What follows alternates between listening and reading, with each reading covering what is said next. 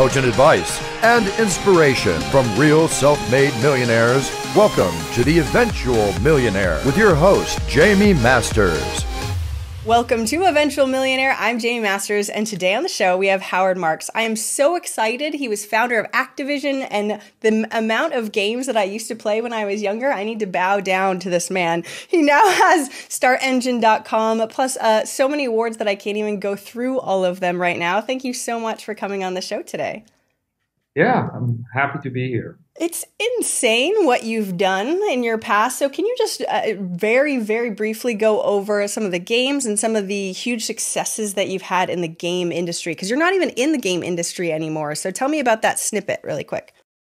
Well, if you think about it, I didn't start my career in the game industry. I was an engineer at the University of Michigan, started my first company. I was playing games all the time uh, for the the microcomputer, the personal computers like Apple II and and different machines like that, and and felt that you know my business partner and I we wanted to be involved in games because we thought there was a future when everybody at that time saw, the Atari debacle and said, you know, it's over, games are done, you know, and I we didn't buy that for a single moment. We thought it's just beginning. It's just you know how it is, uh, business cycles things go up, things go down. So we got into the game industry when things were really bad, and Nintendo just came in with their whole new machine, and everybody thought that was a joke. But it turned out it was just the beginning of something even a more larger. So Activision really, at this point, uh, for those who, who, who, may or may not know the company, it, it's the largest video game company in the world. It's a Fortune 500 company, has close to a $50 billion market cap. And I was the co-founder with uh, my roommate in college, Bobby Kotick, the two of us, and we did not. We just jumped in and decided to start a, a, video game publishing business, and we found Activision, which was a bankrupt company. We bought it for 400 grand control, and then uh, restructured the company, and uh, and then brought it back into life. And and it had a big library of co- games that some of your listeners may know or not, called Pitfall and River Raid and Zork and all these amazing old games. But then, as you probably know today, it has uh, some of the greatest multiplayer games like World of Warcraft and StarCraft and Warcraft and and Overwatch and, and Call of Duty, and it's just a, a conglomerate of things. And it's now probably going to become one of the largest esports companies. So my involvement was pretty early at the at the inception, from beginning where we needed money, where we needed a million dollars just to get started, to the point where uh, we were raising hundreds of millions.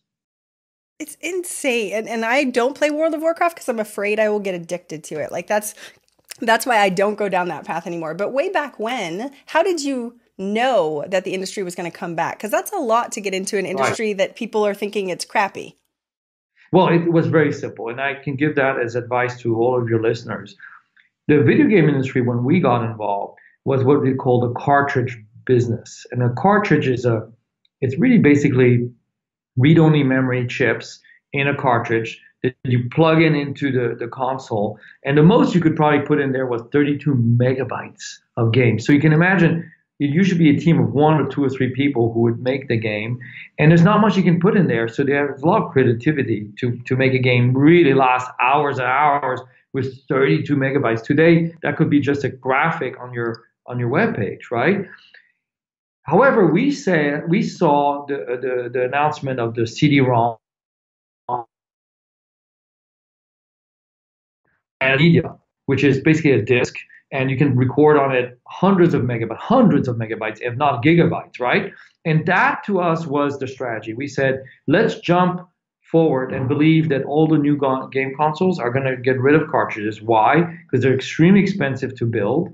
And if you have an inventory that is not sold, you're bankrupt basically. And that's what happened to a lot of the game companies, including Atari. They had built millions of cartridges. They had to bury them underground in in in Nevada because they had no place to use them for. They were, and you talk about a lot of hardware, right? Millions and millions of unsold cartridges. The inventory levels were killer. Well, guess what? The CD-ROM cost 50 cents to make. 50 cents, a dollar. Who cares? At this point, you take something that costs 20 30 dollars to, to a dollar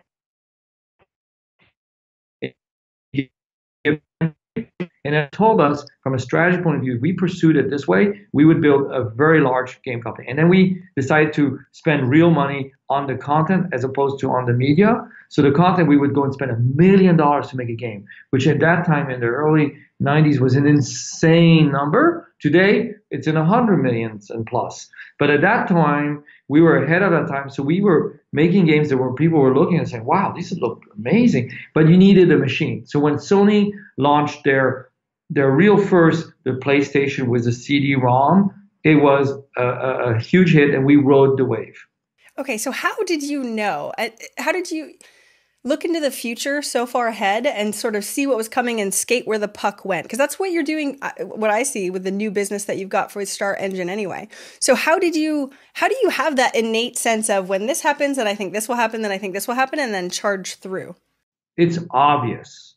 It's really obvious and i'll tell you why it's obvious you know many times in business a new business emerges with a 10x model. What is 10x? And you and you you, you have people like Peter Diamandis, who is brilliant, who always talks about the abundance, the 10x factor. So what is 10x? So look, a cartridge was 32 megabytes.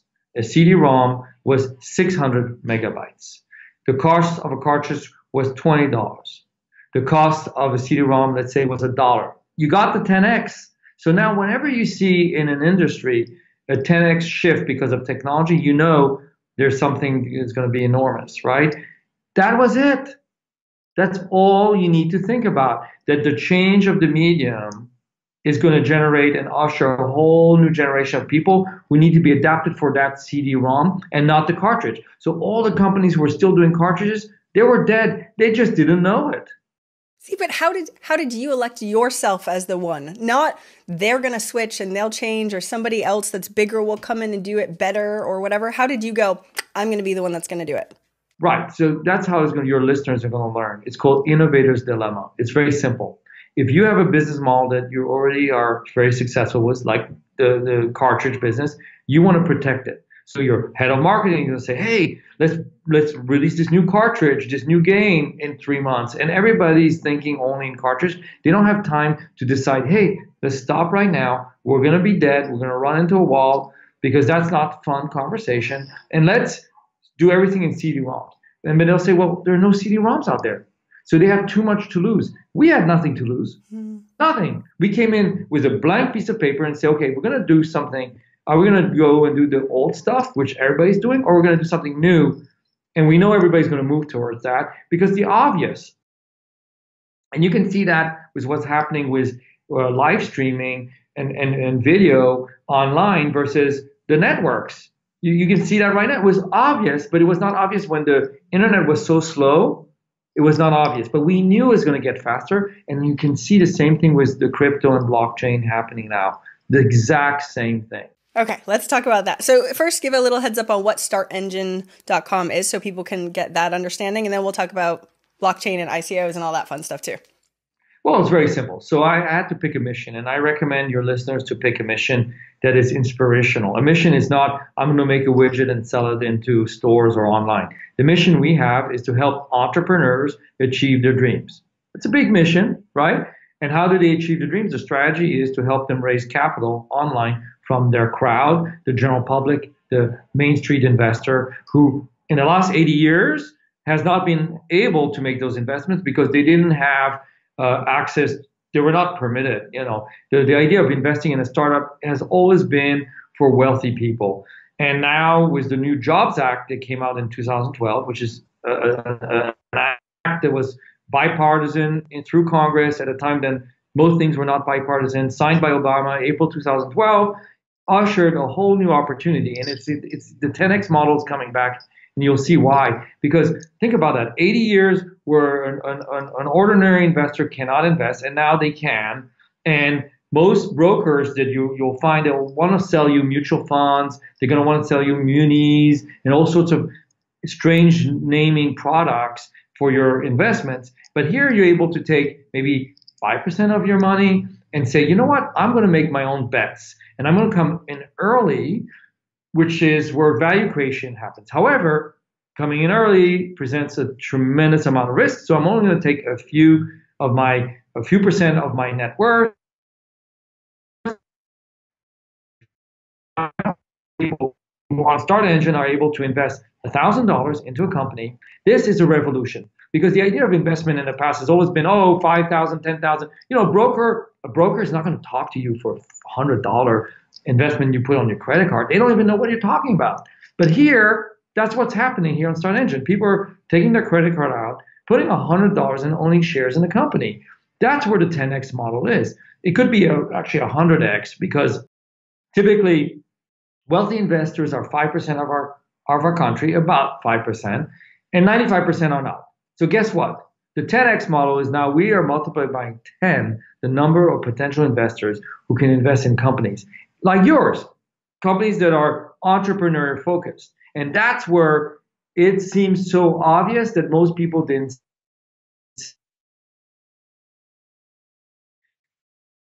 will ever invest online to buy stock.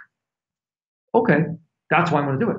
Because the, the belief system was that the ordinary investor is not going online to buy shares. They're going to be going online to consume media. They're going to buy on Amazon. But why would they buy stock? Well, to me, was such an obvious.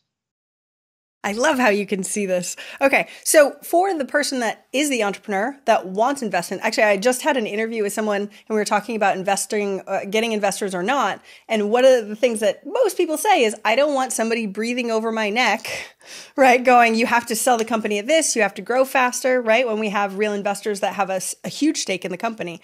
So how does it work with with the Start Engine when when you get people that are investing? They have a, a piece correct and and uh, explain the model too, because like going to the site, everybody should check it out anyway, because it's super cool just to look at all the different potential things you can invest in for like a hundred bucks here. It's it's insane. Um, but when that happens and when they do get funded, what does the structure look like? Right? Is it um, they just get a piece and and do you ever know who they are? Do you not know who they are? Do you talk to them? Like, what is the the entrepreneur's viewpoint of their investors?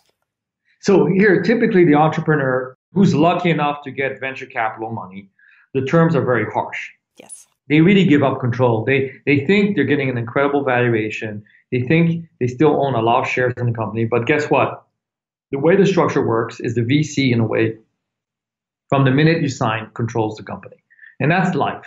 I understand that, but it's also a Damocles sword that is above your head. At any point, they either kill you or they fund you. I don't know which one it is. We'll decide at the time it's important. Every company goes through a bump.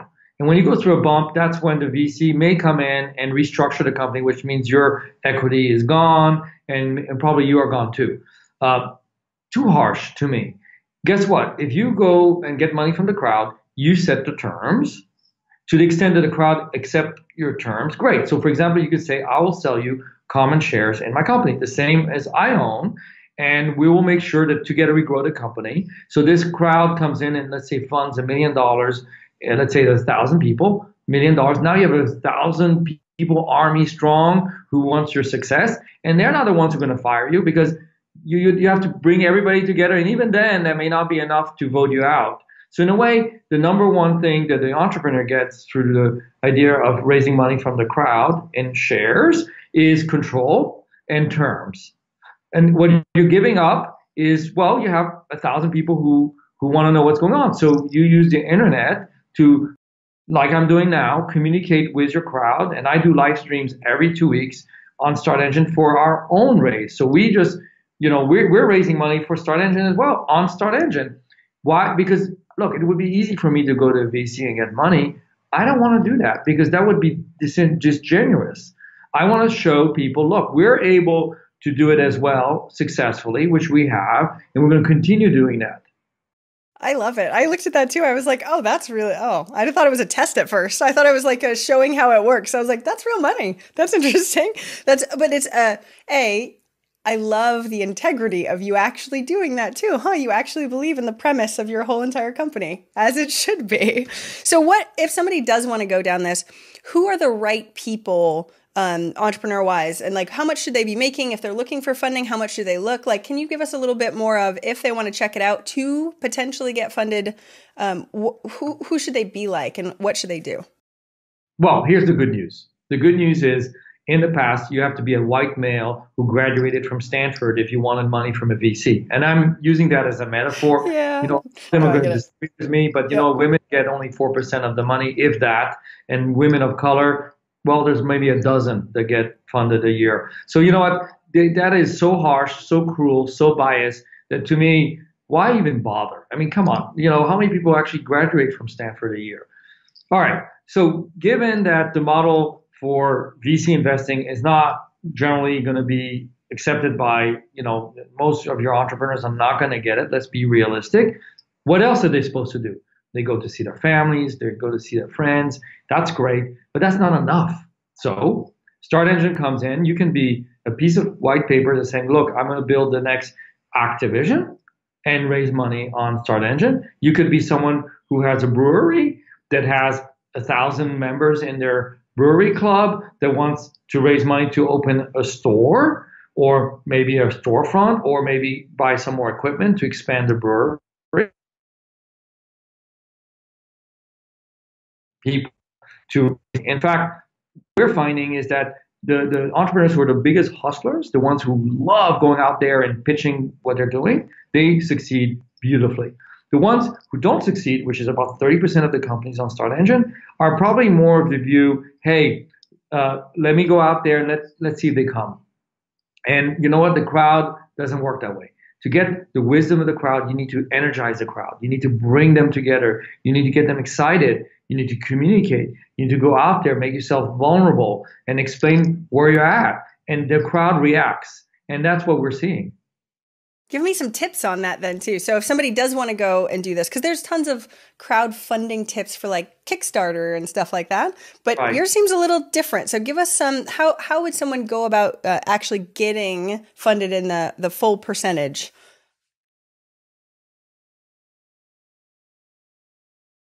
Right. So the way it works is not that much different than Kickstarter, but it's different in the sense that you're not giving away money as a as a person, you're actually investing, is what we show them on the screen. There's all the financials of the company fully disclosed. This is so bizarre, so bizarre, right? The idea that a privately held company is exposing their financials to the public. Anybody can see it. So you don't have to invest to see it. Anybody. This is a, new set of transparency that has not existed before. Because if you think about it, a lot of times when you invest in something, you may not know who the CEO is, who the background, who checked it, uh, is there any legal problems, structural problems? We bring it all out there on a page. Everything is out there. So the, the, the investor can make an informed decision and then they can talk to their friends and they can actually go on our page and type their comments, whether it's positive or negative. It's fine as long as they don't use anything that is offensive. It's great. So the debate starts and continues on the page, even even past the, the raise.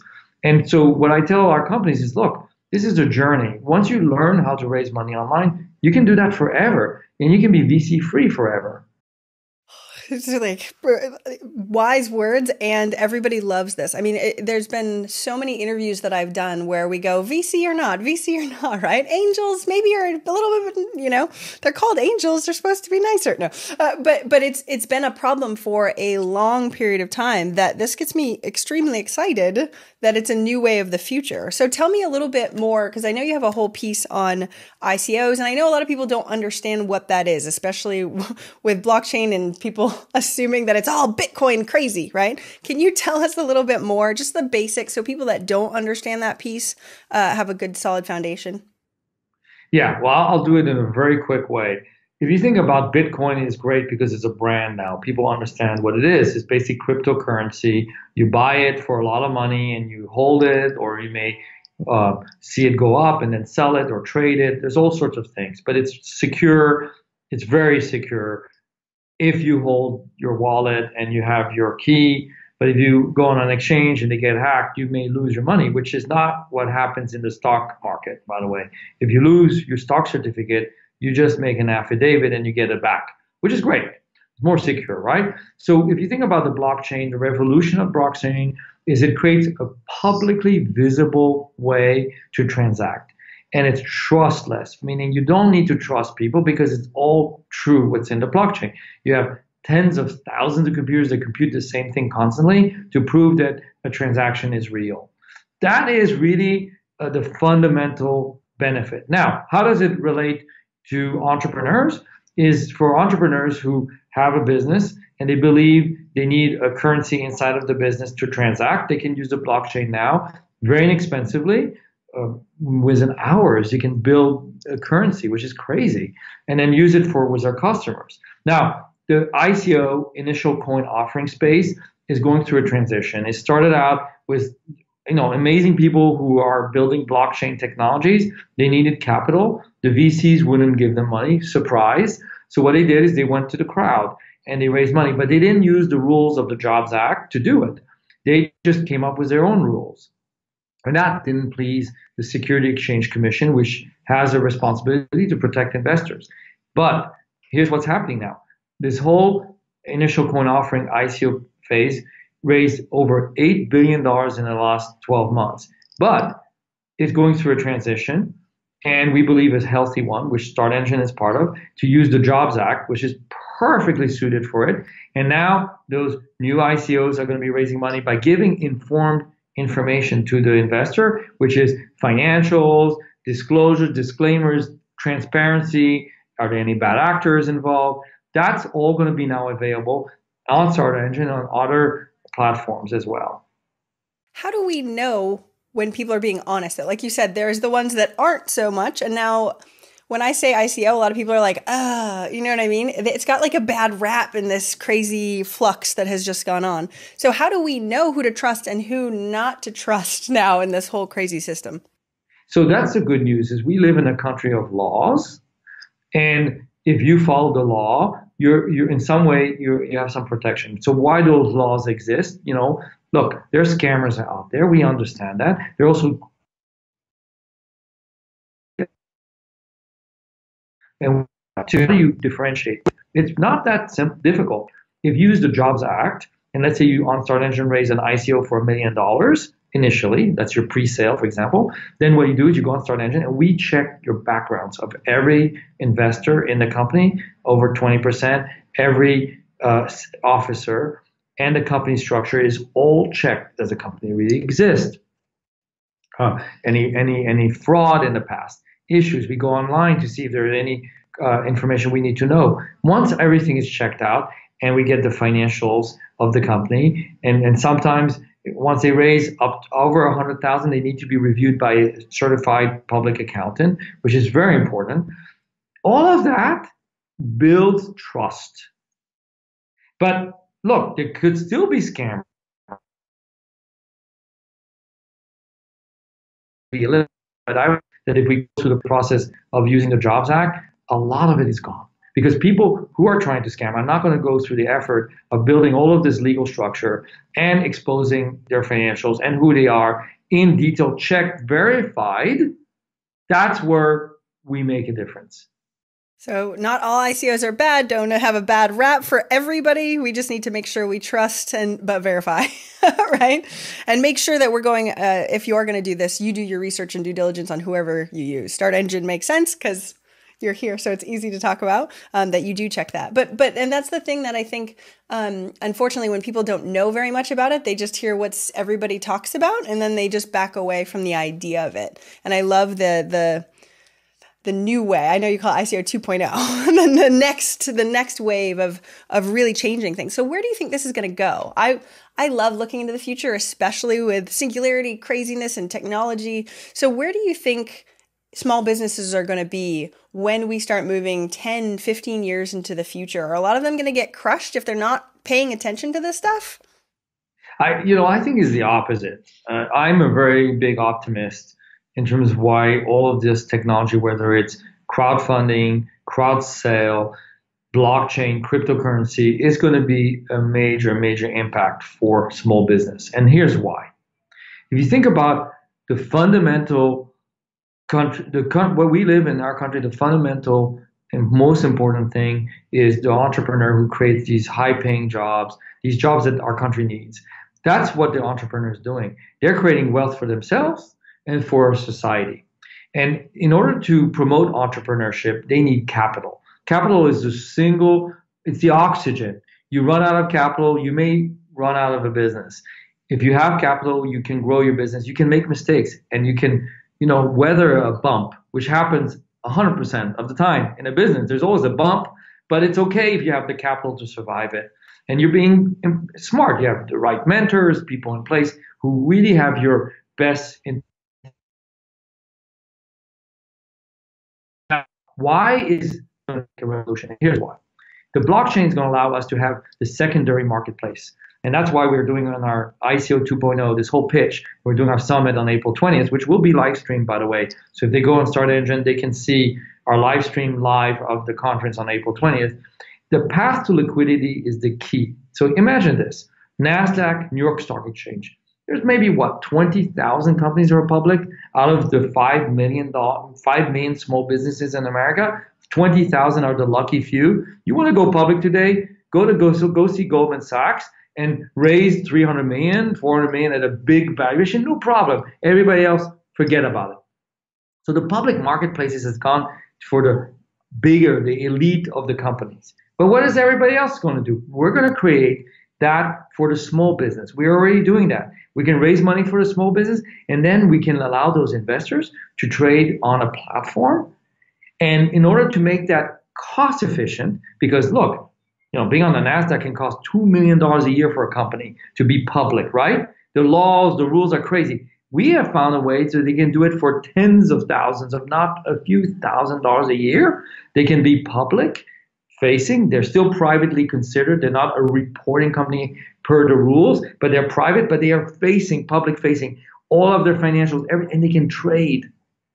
Think about that. So we're recreating what you see in the NASDAQ for small business. We're creating the NASDAQ for small business at Start Engine. You're, we're going to have thousands of companies. We're going to be listed on Start Engine, and then hundreds of thousands, if not millions of people who will be transacting, trading the share. That creates exciting. liquidity. And yes. guess what? Liquidity feeds back into buying shares initially, which creates growth, which creates entrepreneurship, which creates economy, which creates jobs. It's amazing. But all of that has to happen because blockchain and cryptocurrency reduces the cost. Now, I'll give you another example that will, your uh, audience is going to understand. The ATM, no big deal today, ATM. In the past, you'd go to a teller to get $100 out of your account. That cost the bank $15. $15. Guess what? The ATM is two cents. Think about it. That's a that's a hundred x better, right?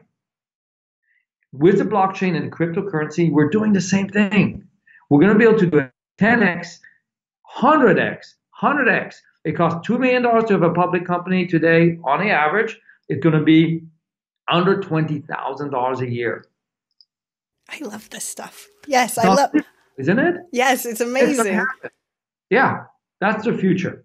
That's happening. Okay. So how do entrepreneurs that don't that maybe even don't need capital at the second, right? Everybody needs capital, but you know what I mean. Uh, aren't aren't willing to go down this path. How can they start learning more about blockchain or crypto, or just start getting their feet wet? Because it does seem a little like jumping all in when we when you do go for funding in this in this uh, route. How can they warm up to it? Well, there's a lot of information out there. If you type in Bitcoin on, I know, but I feel Google, like there's so much crappy stuff too. There's so yeah, much. Well, Everybody's and their brothers talking about it. Uh-huh. So entrepreneurs can go to resources like my blog, howardmarks.com. Great. I write a lot about all of this. Great. And I have about 50,000 readers a month who come in reading it. Now it's it's really for entrepreneurs. This is not for the general investor consumer. Um, and they can read it if they want, but for the entrepreneur the, so my blog is good, and then you have other people's blogs who are very good. Uh, for example, Tai Lopez, he's a big influencer. He, he does talk about this and blockchain and, and cryptocurrency. Nathan Latka, he's another well-known. Nathan's my really good friend. He lives here in Austin. Yes. Right, exactly. Nathan yeah. is going to be uh, also at our summit. He's going to be moderating and interviewing people. He's great because he can make he can make it very easy for people to understand the business side of things. Mm-hmm. And all of these, these, these influencers who a lot of your audience is going to listen to are going to talk about the cryptocurrency and the blockchain because it really integrates into business. Now, in terms of other resources, there's a there's a blog called CoinDesk.com that has information about ICOs, information about crypto investors. Um, you know, nowadays, if you go on YouTube, everybody's an expert. Everybody's yes. an expert on trading Bitcoin. I would be, I would suggest this is a little bit overreach. Um, unfortunately, there are no experts. Uh, there aren't. What is most important is to to make sure that the people who your audience is safe when they invest in cryptocurrencies. They they, they are aware whether they could they have control of their wallet or not. But they can start in for very little money, a few hundred bucks and get comfortable with it and start learning more. It is an extraordinary uh, opportunity for anybody today to start seeing what the future is going to look like. Thank you. And that was the that was the point. The trust factor is getting a little gray area online. So thank you for giving those trusted resources. So I highly recommend anyone that's listening right now, even if you aren't don't feel like you know or care about it right now, please do a little due diligence, take a little bit of time and learn about it because it's going to be here whether you read about it or not. So, so just a warning, it's the way of the future. I know we have to start wrapping up. So I'm going to ask the final question, but I love all of this. What's one action listeners can take this week to help move them forward towards their goal of a million? Well, I, I would say this. Most importantly is you need capital. And if you can find capital, great and congratulations for the very lucky ones. And if you can't find capital, go on, go and find a platform like ours and go out there and, and reach your crowd, reach your audience. It's so much better because now you have proof of concept. If you have a million dollars raised for your company through your audience, the people who care most about what you do, they are going to be marketing you. So it's a new way of a new form of marketing. So I think the, the real big idea for getting to that million dollar net worth is to raise capital at the right terms from the right people quickly so that you can pursue your business and grow it. So we're not looking this way and our business dies because we're looking too much for capital and we don't have enough time to focus on the business. We only have so much time to focus on something. Right. So I uh, really really agree with you that if we just need an influx, it's 30 days usually for your for your type of um, funding too, right? Or how many days can it be? Right. The, the minimum is 21 days and, and it can be up to two or three months. But keep in mind, you, you just said it where you spend all your time raising money. But here, you're doing both at the same time. You're building your audience of customers and you're raising money. So what's wrong with that? I love it. Thank you so much for coming on the show today. Everyone, check that out. I really, really appreciate it. Make sure you go to howardmarks.com. That was the blog that we were mentioning. Yeah. Okay. So that way you can learn a little bit more about it before you go ahead and jump in. Thank you so much for taking the time today. I really appreciate it. Thank you.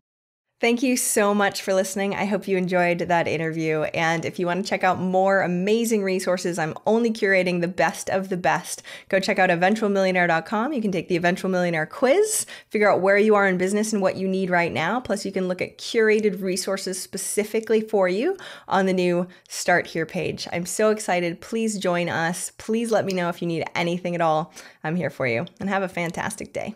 Bye.